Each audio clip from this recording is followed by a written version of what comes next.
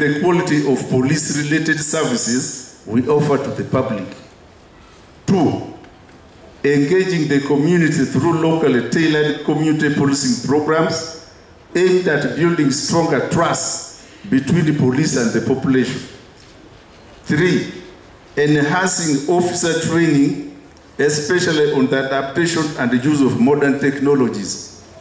And four, digitalizing and integrating crime records for the purposes of easy detection, reporting, tracking, supervising, and analysis of crime needs, crime trends.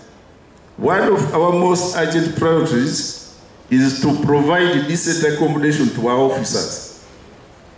As over recent years, we will continue to ensure that the general welfare and working conditions of our officers are improved. We hope to fully resolve the issue of providing permanent housing with time.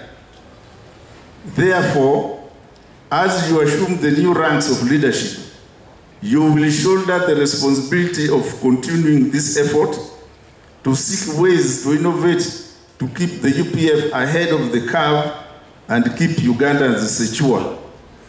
I have confidence in your ability to overcome any challenges in your way and lead your pers- personnel well. Currently,